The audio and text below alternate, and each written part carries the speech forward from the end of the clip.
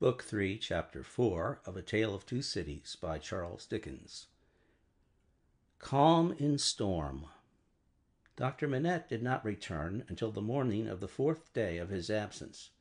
So much of what had happened in that dreadful time as could be kept from the knowledge of Lucy was so well concealed from her that not until long afterwards, when France and she were far apart, did she know that eleven hundred defenseless prisoners of both sexes and all ages had been killed by the populace, that four days and nights had been darkened by this deed of horror, and that the air around her had been tainted by the slain.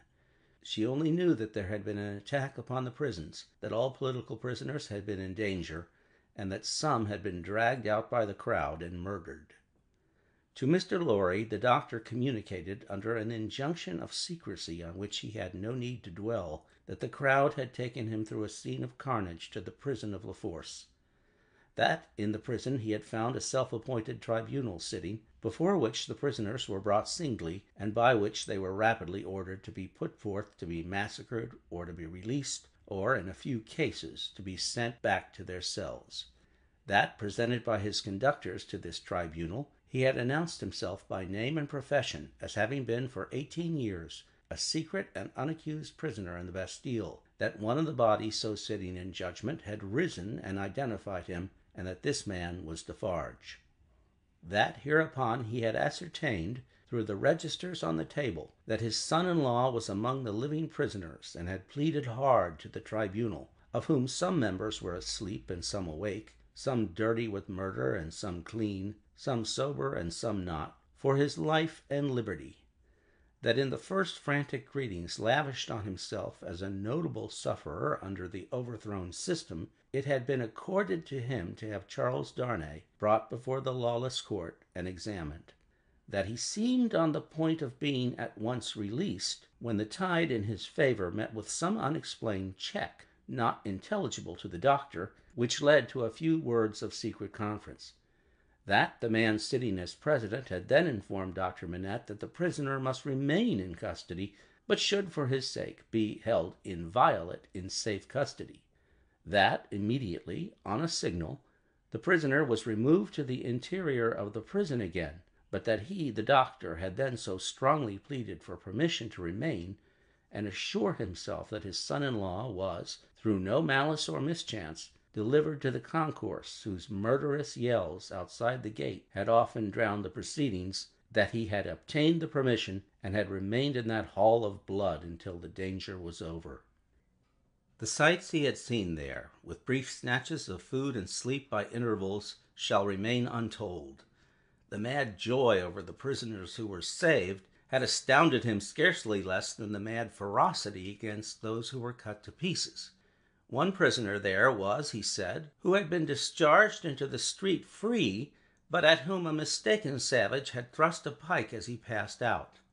Being besought to go to him and dress the wound, the doctor had passed out at the same gate, and had found him in the arms of a company of Samaritans, who were seated on the bodies of their victims.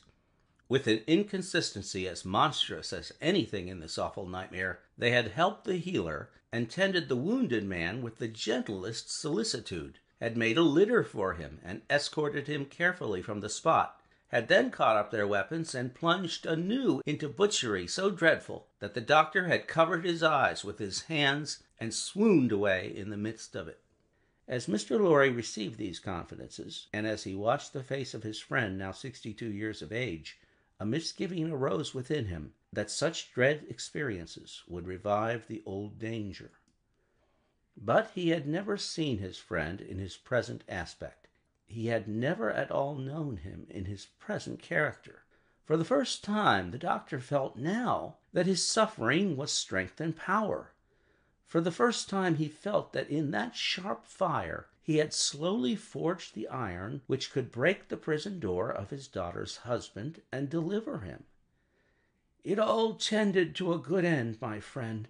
It was not mere waste and ruin.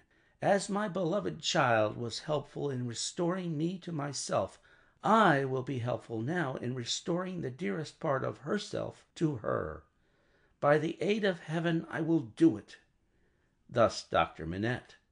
And when Jarvis Lorry saw the kindled eyes, the resolute face, the calm, strong look and bearing of the man whose life always seemed to him to have been stopped like a clock for so many years, and then set going again with an energy which had lain dormant during the cessation of its usefulness, he believed. Greater things than the doctor had at that time to contend with would have yielded before his persevering purpose while he kept himself in his place as a physician, whose business was with all degrees of mankind, bond and free, rich and poor, bad and good, he used his personal influence so wisely that he was soon the inspecting physician of three prisons, and among them of La Force. He could now assure Lucy that her husband was no longer confined alone, but was mixed with the general body of prisoners. He saw her husband weekly and brought sweet messages to her straight from his lips. Sometimes her husband himself sent a letter to her, though never by the doctor's hand, but she was not permitted to write to him. For among the many wild suspicions of plots in the prisons, the wildest of all pointed at emigrants who were known to have made friends or permanent connections abroad. This new life of the doctor's was an anxious life, no doubt. Still, the sagacious Mr. Lorry saw that there was a new sustaining pride in it. Nothing unbecoming tinged the pride. It was a natural and worthy one, but he observed it as a curiosity. The doctor knew that up to that time his imprisonment had been associated in the minds of his daughter and his friend with his personal affliction, deprivation, and weakness. Now that this was changed, and he knew himself to be invested through that old trial with forces to which they both looked for Charles's ultimate safety and deliverance, he became so far exalted by the change that he took the lead in direction and required them as the weak to trust him as the strong.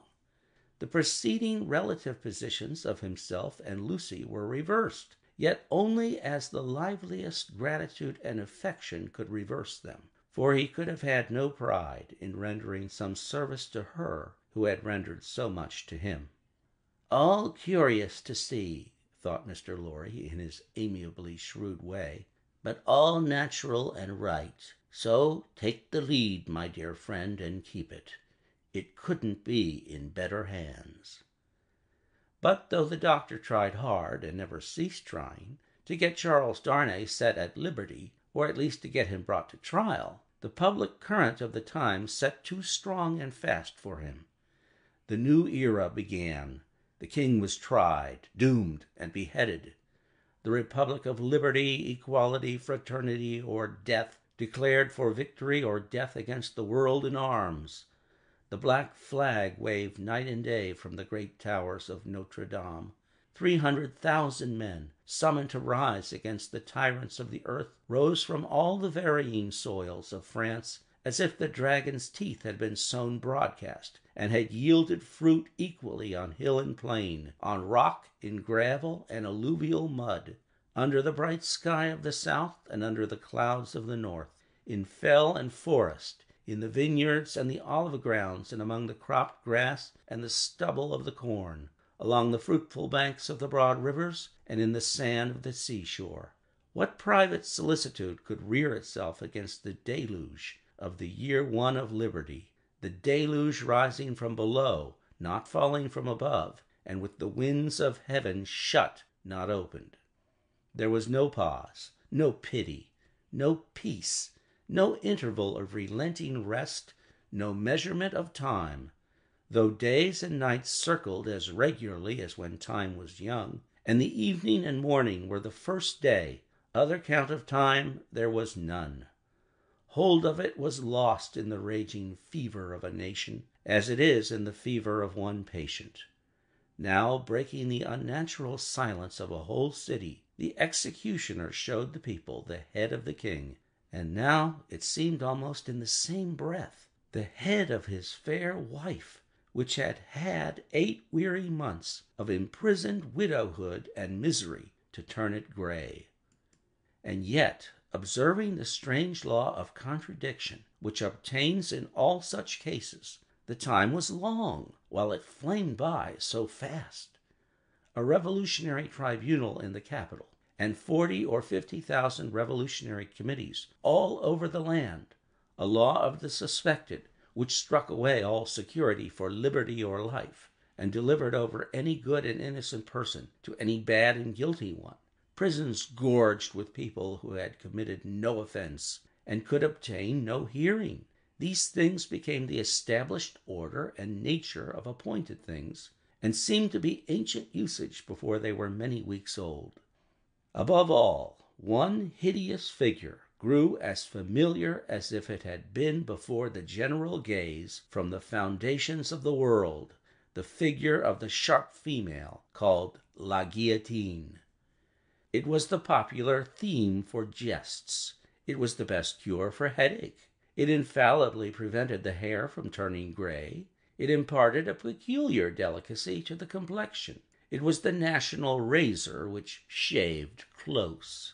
Who kissed the guillotine looked through the little window and sneezed into the sack. It was the sign of the regeneration of the human race. It superseded the cross. Models of it were worn on breasts from which the cross was discarded, and it was bowed down to and believed in where the cross was denied. It sheared off heads so many that it and the ground it most polluted were a rotten red. It was taken to pieces like a toy puzzle for a young devil, and was put together again when the occasion wanted it. It hushed the eloquent, struck down the powerful, abolished the beautiful and good. Twenty two friends of high public mark, twenty one living and one dead, it had lopped the heads off in one morning, in as many minutes. The name of the strong man of old Scripture had descended to the chief functionary who worked it, but so armed he was stronger than his namesake and blinder, and tore away the gates of God's own temple every day.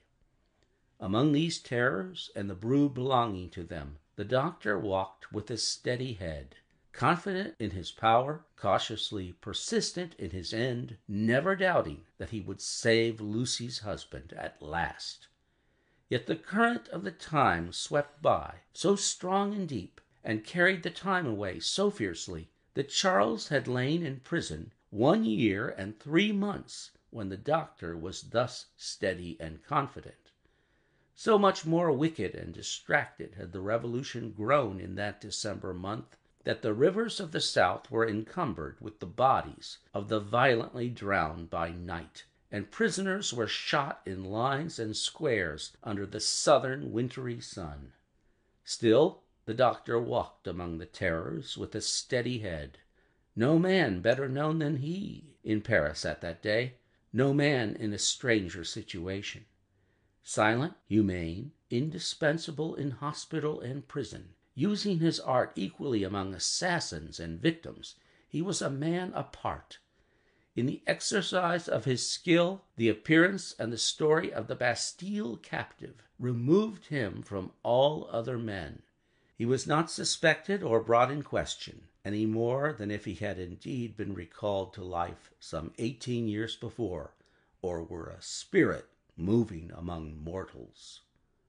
End of chapter.